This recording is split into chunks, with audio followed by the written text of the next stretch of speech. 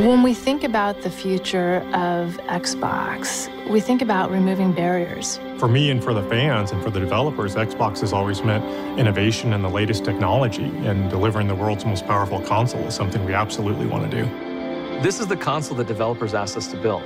They wanted a console that had no boundaries, had no limitations. And that technology component to us is what we really need to make our vision and our art come alive. When I saw the specs of this thing, I'm like, wow, I got true to like, they're really going for it.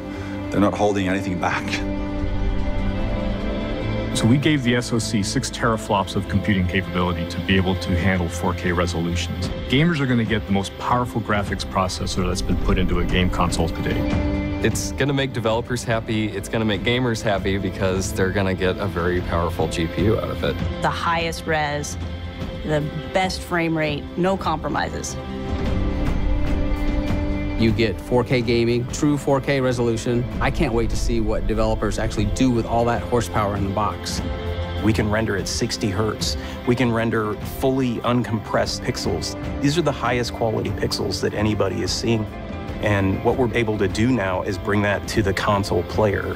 My job as a game maker is about immersion. It's about to put you into an experience and let you live that experience the richer and more accurate those visuals are, the more immersive it is. And if we can get a lot more performance, and I mean, I mean a lot more like with this, we get to much greater and better game experiences as a result. We're moving Fallout 4 to VR, and to have a console that can support that at the resolution and speed that we really want, I think it's going to be magical.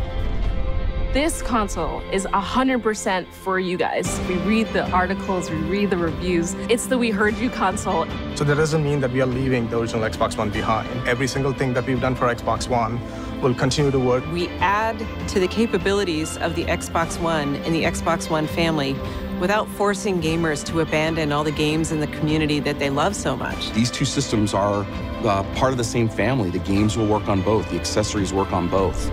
Well, the box we're building is incredible. It's going to have eight CPU cores, over 320 gigabytes per second of memory bandwidth, six teraflops of GPU power. It's a monster.